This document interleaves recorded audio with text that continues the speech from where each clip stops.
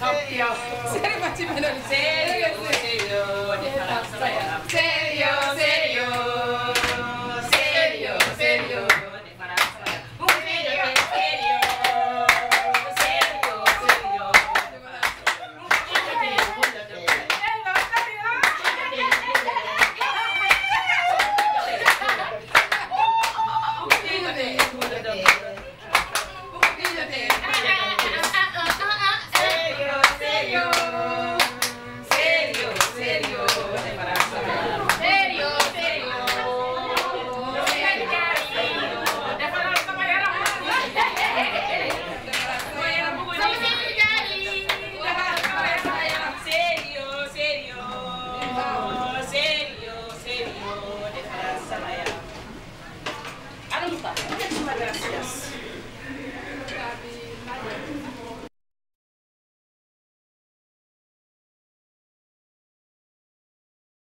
Me fui con ellas dos.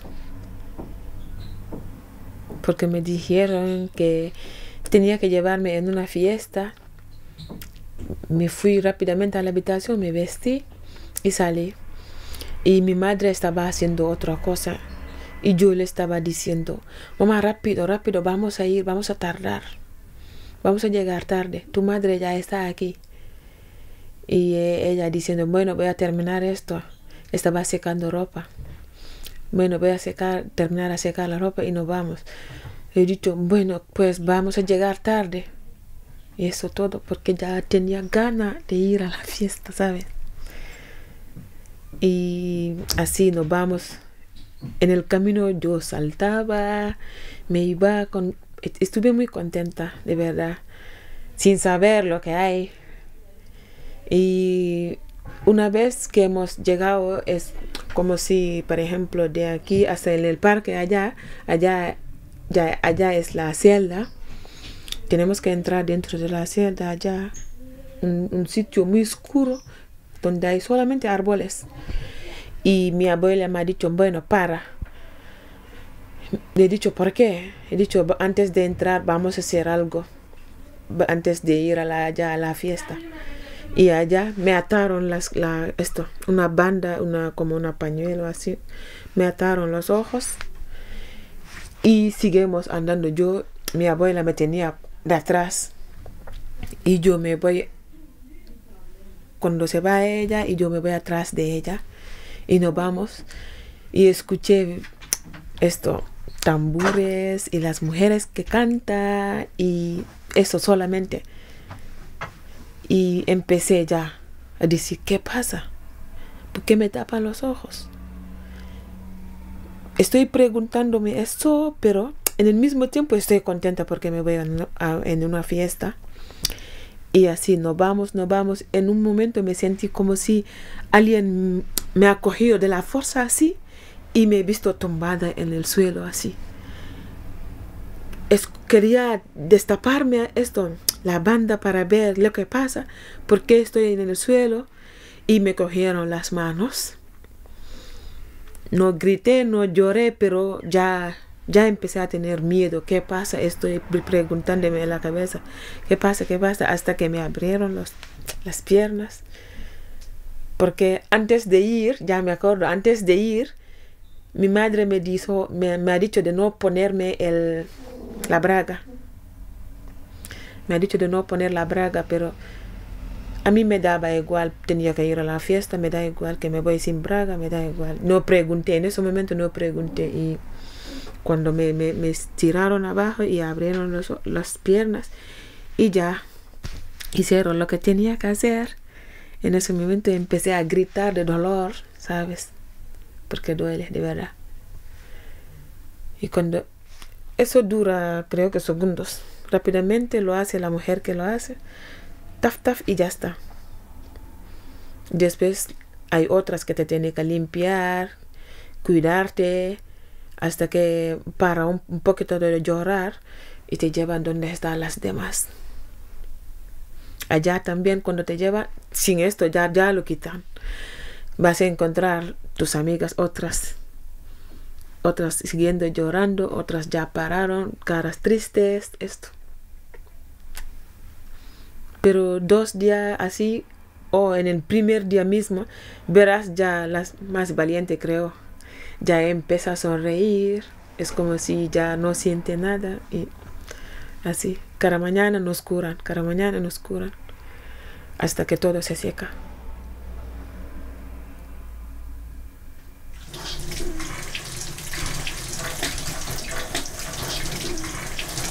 ¿Cómo fue cuando te lo hicieron? Te duele, ¿eh? Y sale un montón de sangre también. Es normal, ¿no?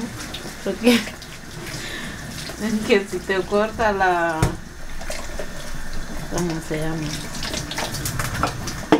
El dedo así te sale sangre, como es lo mismo, como lo mismo sangre que sale. ¿Y, Mm. Y eras sola o había más niñas? Mucho, mucho. Casi 25 así. Sí. ¿Y lo hacían primero a una y luego a otra o todas Sí. juntas? Primero a una, al otro. Es la misma se- señora que lo, lo hacía. Yo fui la primera. Sí.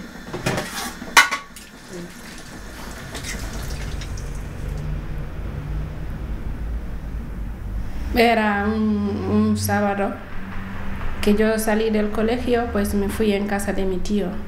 Pues cuando llegué, todas las niñas estaban con una ropa rara, pues y pregunté qué pasaba, ¿no? Porque somos cuatro, sí, somos cuatro chicas de la misma edad, ¿no?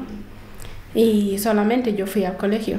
Ellas no, quisi- no sus madres no quisieron porque al principio mi padre y su hermano eh, se oponían, ¿no?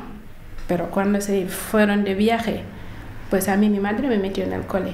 O sea que este día yo me fui al cole por la mañana sin saber que ellas le habían llevado para hacerle las prácticas. Y cuando volví, pues ya estaban con esta ropa rara y eso, dije, pero ¿por qué yo no fui?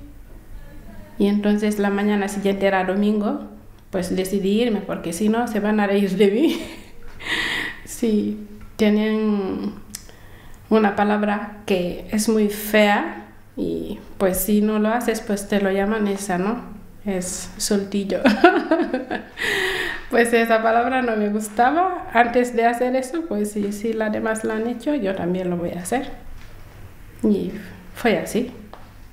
Cuando llegué, la señora me preguntó quién te mandó. Le dije, mi madre me mandó. Y era mentira. Mi madre ni sabía. Eso sí. Pero una experiencia más, ¿no? Porque entonces eso no se hablaba en mi país. No se explicaba en el colegio, porque si no, yo supiera, ¿no? Pero no se hablaba de eso, es una cosa tabú, pues. Se levantan temprano por la mañana y cogen a las niñas y se les llevan. A veces ellas ni saben dónde van, pero yo sí sabía dónde iba. Porque también quería la ropa rara. sí. ¿Y qué exactamente te hicieron? cortar eh, la, la- una cosita que tenemos nosotros arriba afuera te la corta Toda. toda bueno algunos la cortan poco pero algunas te la corta todo depende cada persona que te toca ¿Y con qué? ¿Mm? Con- creo que con un cuchillo pequeño o esos son cuchillos chiquititos que tiene ellos irme a mi país llevando a mis hijas, claro, me da miedo. Es que no solamente tu familia, ahí la gente no le... Para ellos no es malo, no entiende. Por eso yo quiero que la gente entienda que ese no, no beneficia nada, ni ser musulmán, ni ser cristiano, eso no tiene que ver nada de eso. No está escrito en ningún, ningún libro, eso sí no está mutilado, porque la gente que sabe leer, que practica esto, dice que no, que no está escrito, que ese no tiene que ver nada de la religión, pero la gente no entiende. Algunos tienen la cabeza cerrada. Yo no he hablado con mi padre, pero mi tía, que he llevado a mis hijas, me dice, ay, si tus hijas no están mutiladas, lo voy voy a llevarla. a-". Yo digo, no. Mis hijas, ¿por qué? Porque tú estás en Europa, te ha cambiado de idea. Yo digo, no es por eso. ¿Qué beneficio te trae? este, mutilando los niños, las niñas. No, no puede casarse, porque ahora adelante puede conseguir un hombre que está abiertamente se puede casar con él, sin, ella sin necesidad de mutilación. Ok, se puede ser musulmán tampoco. También no hace falta ser mutilado. Es que no sé si te ha cambiado la idea ahí, ¿no? Yo digo, bueno, algo te voy a decir, no solamente que yo no quiero. Aquí, si tú llevas a mis hijas a mutilarse, yo no puedo regresar aquí a España, me meterán en la cárcel por tu culpa. Ahí, claro, esa culpabilidad le quita la gana de hacerlo, ¿no? Pero, ¿qué, ¿qué puede hacer? No puede hacer otra cosa. Tú puedes avisar a la gente que está cerca de ti, pero la gente que no, no te conoce nada, que te puede venir a coger tus hijos, bueno, se entera que no está mutilado.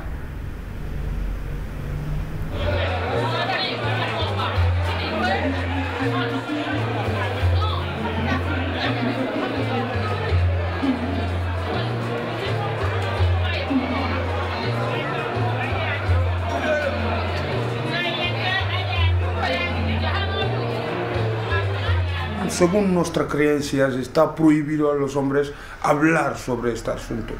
Pero ahora veo la obligación de, romper esta regla por necesidad de explicar a una sociedad que no hace nada más que imponer lo suyo. Todo pueblo del mundo tiene derecho de practicar lo que a ellos han decidido en su, junta. Y esto se debe proteger. Se debe proteger. No estamos diciendo que se mate a, la gente o que se sacrifique en un altar, no. Estamos diciéndole que es una práctica que ellos, por su madurez, por su madurez, ¿ah? por, su, por, por, su arraigo en la tierra, porque nadie fue el primero antes que nosotros en esta tierra. Con lo que hacemos con lo nuestro, sabemos, le hemos medido antes de hacerlo, le hemos pensado antes de hacerlo. Se ha madurado algo y se ha tomado la de, de, decisión colectivamente de llegar a esta práctica. ¿Por qué? Porque simplemente les hace bien. ¿Tú lo, lo has pensado alguna vez? ¿Has sentido que estás traicionando tu cultura o algo así? No, no, porque una persona no puede obligarte a hacer algo que no te gusta o entender algo que no te gusta. Y no, no es verdad, eso no es verdad. Eso, si escuchas eso, es la ignorancia. Es, esas personas que están diciendo hasta ahora no saben lo que significa, lo que, lo que te pierdes si te haces eso y lo que te perjudica después, ¿no? Las mujeres que después en los partos y eso pues complicaciones que tienes que no deberías tener. Y muchas niñas después que mueren por, por eh, hemorragias y eso. Pues no. Si lo piensas así es que no quieres entender lo que está pasando realmente. Y otra cosa es que los hombres dicen... Y por ejemplo los hombres no quieren eso porque siempre quieren estar en su sitio, no quieren que le bajen en necesidad de en este trono. Están en un trono, pues que las mujeres siempre se pueden ahí aguantar, estar ahí hasta que ellos no, y ellos no pueden hacer eso, no hacen eso. O sea que el cambio no le gusta a los hombres. A mí no me extraña, no me extraña que un hombre se, se, haga, se, que diga eso, pero una mujer, pues sí, o es tonta o no quiere entender. Algunas veces me he sentido que estoy traicionando mi, cultura, algunas veces también me sentí como que me estaban lavando el cerebro, me estaban corrompiendo, ¿no? Para, para decir que esta, tradición mía no, no era lo correcto, pero también cuando recibí información de todo eso, cambié de idea. Igual esas personas que están pensando así, si reciben algo más información, como yo le he podido recibir o lo que sea, también cambiarán de idea. Porque yo era muy defensora de la mutilación. Era una cosa que me sentía orgullosa. ¿Qué te puedo decir? Ahora estoy sentada y hablando en contra. También me he sentido como una traicionera, ¿no? Pero ya no. En mi etnia es una manera de conservar la virginidad. Entonces, cuando una chica de nuestra familia se casa a la noche de boda, que su marido no pueda acudir a él, no le pueda penetrar o lo que sea, al día siguiente la misma mujer que nos había hecho la, la mutilación es la que llaman para que te abra otra vez para que el marido te pueda entrar. Entonces, cuando se produzca este acto, los padres están más contentos porque dicen que te conservado muy bien. Al- el hecho de estar mutilado hace que el hombre no te pueda abrirlo lo que sea, porque para ellos, si estás mutilada, un hombre no puede llegar en ti, aunque es mentira, pero ellos no saben.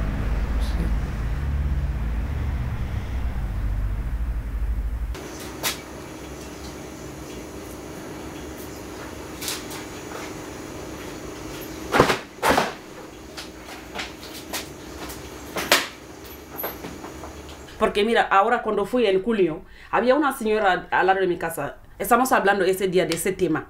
Me, me pregunta si voy a hacer una, mi hija. Yo digo, mi hija, yo no me voy a hacer nunca. Me dijo, tenía una amiga, ella, que es mayor, se casó. Su familia no lo haga a ella. Ella estaba haciendo mutilación. Entonces se casó.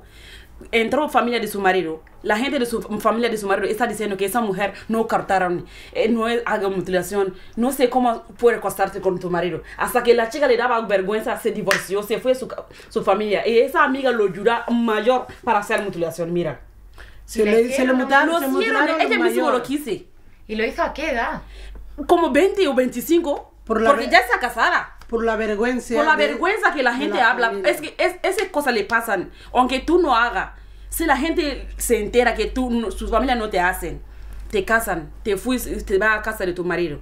Y la gente te, va, te miraba hasta que final, final te dijo que tú no haces mutilación, te, este, eh, tú estás sin cortar todo lo aquí, que está cortando, no sé cómo tu marido te figa, una mujer que no... Hasta que te da vergüenza. Al final, al final, al final, la chica se divorció, que siguiendo queriendo a su marido, pero se divorció por la vergüenza, por las palabras. Pero chica se, que mayor, mayor, se fue a cortar a ella misma.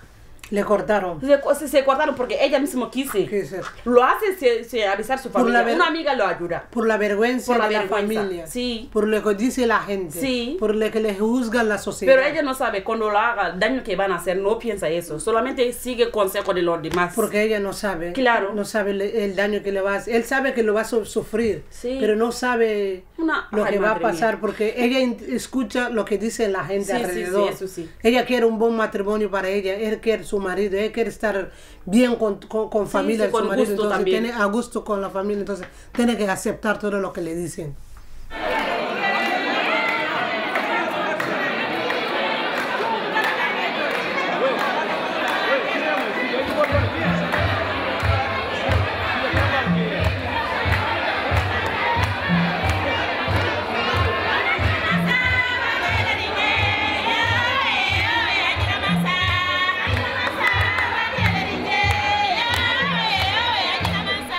Pasé 15 años en, sufrimiento. 15 años para poder tener un hijo. No consigo. Y pasé mucho tiempo sufriendo con un hombre. Yo quiero sentir, sentir como cualquier mujer. Entonces, yo es por eso que estoy luchando para que mi, mi- familia, nueva generación de mi familia o muchas mujeres en el mundo siente como cualquier mujer. Que no sea eh, de mi familia, no mi familia de Guinea, no son de Guinea, mujeres en el mundo. Por ley de mutilación, trabajar también la igualdad. Igualdad, que nos respeta, que tenemos derecho, que conozcamos nuestros derechos, luchamos.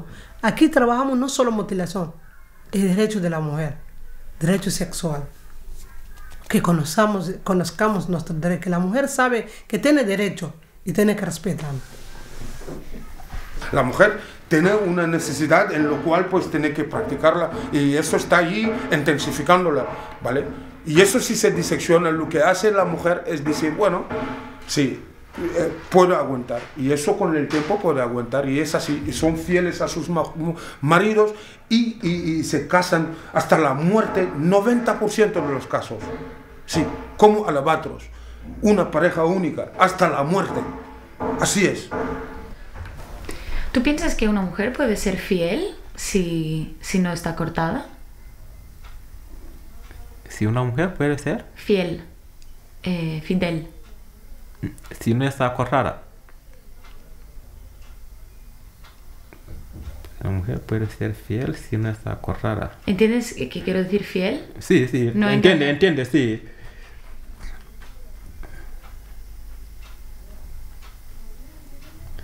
Yo pienso que, yo para mí son cosas que, bueno, hay gente que piensan que este lo hacen para que, mm, hay gente que piensan así, ¿no? Que se hace para que la mujer no sea fiel, ¿no?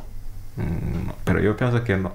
Eh, son cosas que eso no tiene ninguna es muy no tiene que ver con eso no porque yo he visto mujeres que están que, están que han hecho esta operación que son infieles. Y he visto también chicas que no la han hecho que son fieles Eh, para mí son dos cosas que bueno puede, puede ser gente que usan esta palabra para justificar la existencia pero yo digo es son dos cosas muy una y la otra no tienen que ver la mujer puede ser fiel sin, sin hacer esto y la mujer puede hacer esto ser infiel yo he visto casos pues eso no es una excusa y yo pienso que aunque sea una excusa pero la salud mm, eh, delante de- de- debe estar delante de todo ¿no? Entonces tú te casarías con una mujer no mutilada. una mujer No mutilada. No mutilada Sí.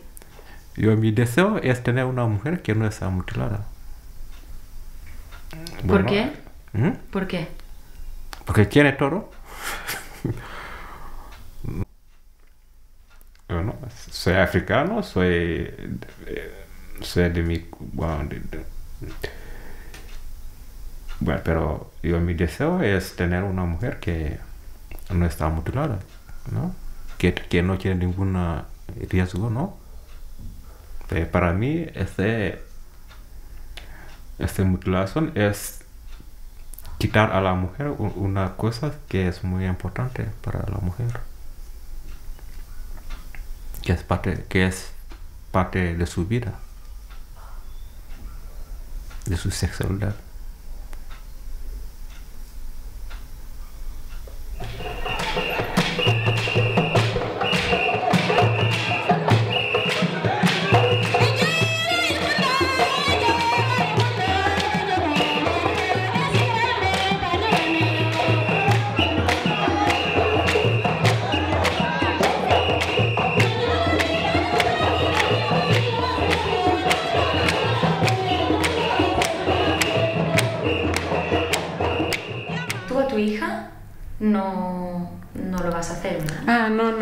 Que Dios me libre. no, eso no. No, no, porque ya tengo la experiencia, pero yo no me puedo quejar porque no voy a decir que es mi madre o que es mi tía o que no. Pues yo pienso que es la ignorancia porque lo hice, ¿no? Pero a mi hija no lo voy a hacer porque yo eh, sé las, las consecuencias de eso. Pues no quiero que le pase a ella. Pues a ella no. Y no me importa que una persona le llame, pues sí, que sea, pues no, no me importa. Porque ella vendrá muy, muy, muy, muy bien preparada, porque yo la voy a preparar psicológicamente y no va a sufrir eso. A veces pienso también que, que, las, que las personas que hemos nacido de, del otro lado hemos tenido mala suerte para no, porque no, había, no hay información. Y hasta ahora sigue, la información es muy precaria, es muy poco. Si había una manera que, que, que eso sí, que se hable de que buscan palabras suaves por, pa- pa- para la entrada, ¿no? Palabras suaves, un, un- un interés para que la gente lo escuche, sería, sería una buena obra. Sí.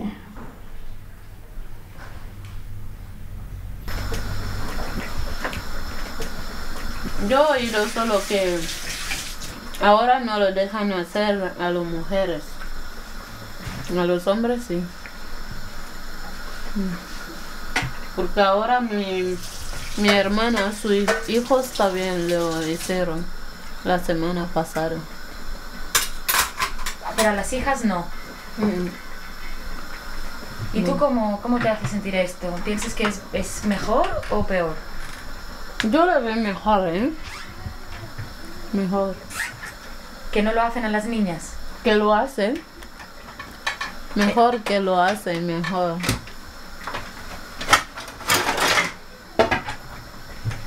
por 10 semestres, obteniendo el título máster. El doctorado equivale a 480 créditos por 16 semestres, obteniendo el título doctor. Abriendo